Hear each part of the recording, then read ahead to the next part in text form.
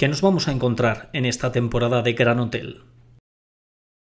Yo soy bastante fan de las, de las series de televisión, un espectador que las sigo muchísimo, ¿no? Eh, nacionales e internacionales. Y normalmente en los primeros capítulos, digo, los primeros, las primeras temporadas sueles ver ahí presentación de personajes, expectativas, te abren cosas. Y, y, en este caso, además, la primera temporada de Gran Hotel ha sido bastante más parecida a las inglesas, ¿no? que te hacen seis capítulos por temporada y te dejan así tal cual, no te dan más. ¿no? Y creo que en esta segunda temporada, que además son siete capítulos más, pues bueno, los personajes ya están asentados, ya los tienes ubicados, con lo cual no los tienes que presentar y, empieza la acción. En, esta segunda temporada lo que va a haber es mucha acción, mucha mezcla de personajes, de tramas, de, relaciones todo el rato y no, no, va a tener la, o sea, sí va a tener la calma, pero no, no va a ser tan, tan pausada como, como, la primera temporada. En este sentido tengo, ahora que he hecho memoria para atrás, que, que eso, han pasado ya siete meses y todavía no he visto nada, ahora acabo de verlo primero con vosotros, pues tengo la sensación de que van a pasar muchas, muchas, muchas, muchas, muchas, muchas cosas. Hemos visto que la parte de acción va siempre ligada a tu personaje. Sí, acción y comedia me, suelen, me lo suelen dejar a mí con, con, con John, lo cual está, pues a mí me parece de puta madre. De hecho, Maya se enfada mucho, porque es como, joder, tío, solo a ti te sacan siempre fuera y a mí me tienen que meter aquí con, con, con John. Y si esto era pues, su tensión así sexual y tal, a veces pues no tiene tanta gracia para ellos, ¿no? Como tener que irte afuera, cántalo a los, a los, a los bares y tal, pero sí, me dejan a mí lo que es la parte de, de acción y comedia y la parte más emocional y intensa y de, amores, pues lo dejan a, los chicos de dentro. ¿Veremos muchos cambios en tu personaje a lo largo de esta temporada?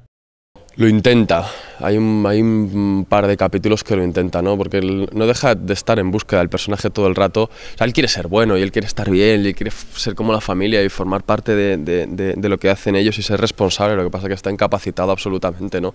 Entonces, en, en, cada capítulo le pasa, pues, hay uno que le, entra una crisis de fe absoluta y, quiere ser célibe y dejar de follar y, meterse en un monasterio a rezar porque se ha convencido y, y, le ha entrado la fe absoluta. Entonces eh, me hace mucha gracia porque es un personaje de, de, extremos que se va de una punta a la otra y deja de beber y pasan chicas y, y no, no, quiere estar con ninguna.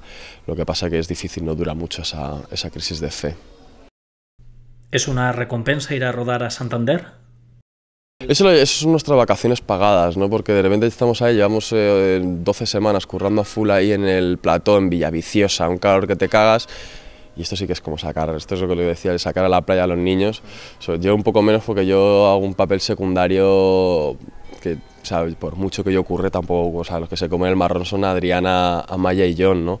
Y el equipo, evidentemente, ¿no? Y el equipo cuando lo sacan a Santander es como si sacaras unos toros salvajes, tío, que los llevan de vacaciones a la playa y la verdad es que es un, es un soplo de aire, ¿no? Estar encerrado y de repente que te suelten. Y yo agradezco mucho las escenas de, de exterior. Luego es más cansado, te cansas mucho en, en, rodaje, pero, pero yo lo agradezco bastante. ¿Notas mucho la presión de estar en una serie como Gran Hotel? Mira, estamos viviendo una situación tan marciana y tan cabrona, ¿vale? Que, que la sensación de que te pueden quitar los caramelitos en cualquier momento es constante, ¿no? O sea, eh, una productora como Diagonal, que tenía en su parrilla Amar en tiempos revueltos, la señora, la señora La República, Isabel, de repente es como se quedan sin Isabel, ahora lo van a retomar, se quedan sin... Eh, y de repente te quedas sin series y dices, hostia, pues esto iba de puta madre y daba, daba audiencia, ¿no? Gran Reserva sucedió, sucedió un poco lo mismo, ¿no? O, Águila Roja. Entonces, bueno, yo estoy intentando acostumbrarme a, la no expectativa. Ya palmé con guante blanco y me, me bajoné que te cagas, porque yo estaba en una serie que decía, pues esta serie es de puta madre, está de la hostia, me felicitan por la calle, porque ha hecho un 8. Entonces eh, se fue a la mierda y fue la primera vez que dije, vale, pues esto es así, ¿no? Entonces con esto de repente tuvo éxito y dije, qué guay, pero yo, yo mira, con tal de que esté, que se mantenga, no tengo presión porque ya la hemos grabado, que eso es muy importante, que no pasó en la anterior, o sea, nosotros ya lo hemos hecho, ya hemos hecho todo lo de la segunda, entonces pase lo que pase ya lo hemos grabado. Y yo ahí en ese sentido no tengo responsabilidad, estaría más cagado si estoy rodando a medida que se va emitiendo, porque ahí sí que me mata un poco, porque te van diciendo cosas por la calle y al día siguiente tienes que grabar y tú vas ahí, eh, o tu personaje no le pasa un poco y tú, hostia puta, pero aquí no, aquí tengo tiempo como para pensar, si hacemos la tercera, pues ya, ya pensaré. ¿Puedes mandar un saludo a los seguidores de formulatv.com?